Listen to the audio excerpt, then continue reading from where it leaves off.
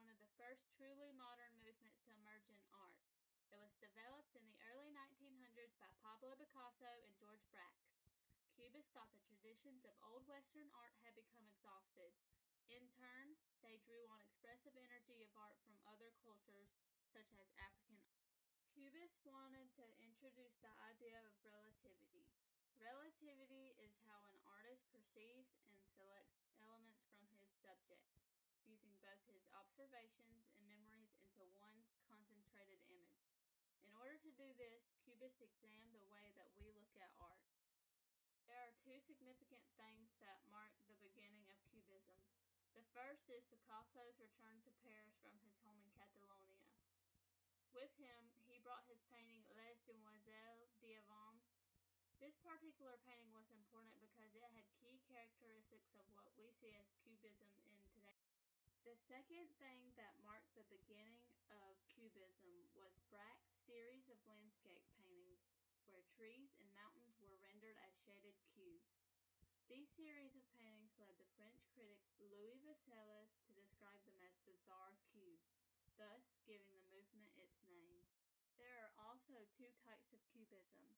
The first is analytic cubism, which was dated from 1907 to 1912. Cubism is a close observation of objects in their background context. In other words, it is an analysis or breaking down of form and space. Artists who associate with the Cubist style typically analyze their subject from many different viewpoints. The subject of analytic cubism is typically restricted to traditional genres of portraiture and still life, with limited earth tones and muted silvers. Both Braque and Picasso had different styles of artwork. In Braque's artwork, he often showed objects exploding out or pulled apart into fragments. Picasso, on the other hand, rendered them magnetized with attracting forces compelling elements of the pictorial space into the center composition. The second type of cubism is synthetic cubism. Synthetic cubism was developed in 1912 and onward. This came to be because both Picasso and Braque's styles were becoming predictable. Both of their paintings became similar, making it hard to distinguish whose painting was whose. Both Picasso and Braque incorporated different elements to liven and revitalize the style. Picasso began gluing printed images from the real world on the surface of his still life. His painting Still Life with Cherry Painting was the first example of the collage technique and opened the door for himself and other artists as well. Braque began to glue newspapers to his canvases, beginning the exploration of papier-collé. Papier-collé is derived from the French word coller, which means to paste or glue. Fruit Dish and Fruits is perhaps one of his most famous paintings and possibly the first papier-collé. With that being said, Cubism moved from unified monochrome surfaces of the analytic style and moved to more direct, colorful, and decorative styles. Although it appears more abstract, traditional elements of Cubism are still applied to synthetic paintings. Another major contributor to synthetic Cubism is Juan Gris. He lived in Paris and was not only friends with Picasso but was his neighbor as well. While Gris lived in Madrid, he studied engineering at the School of Arts and Manufactures in 1902 to 1904. Juan Gris refined the Cubist vocabulary into his own visual language. Gris was known to be the most calculating Cubist painter in how he composed his artwork. Every element in his painting are precise and thought out.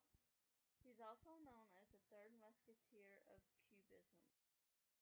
Other major artists such as Ferdinand Leger, Sonia Delaunay, and Robert Delaunay adopted Cubism and had their own unique twist on it. Leger adapted Cubism with three-dimensionality distinguished by cylinder forms and robot and human figures expressing his piece with humans and machines.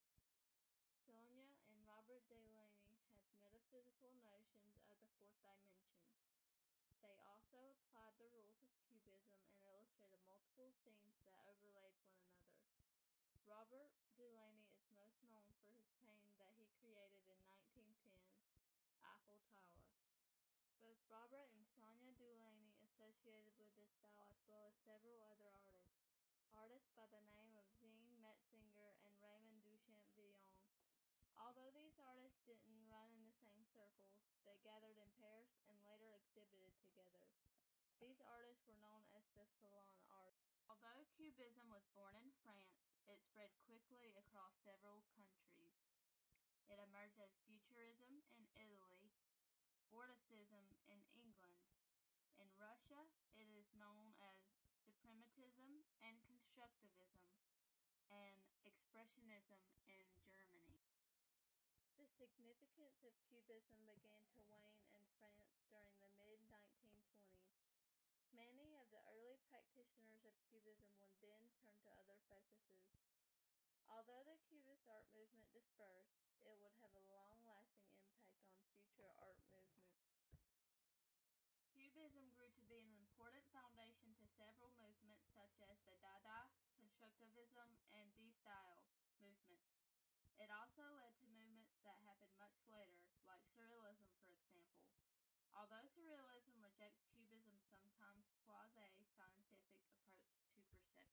Even though Cubism impacted several movements, critics were left unsure on whether Cubists were concerned with representing imagery in a more objective manner, revealing more of its essential character, or whether they were principally interested in distortion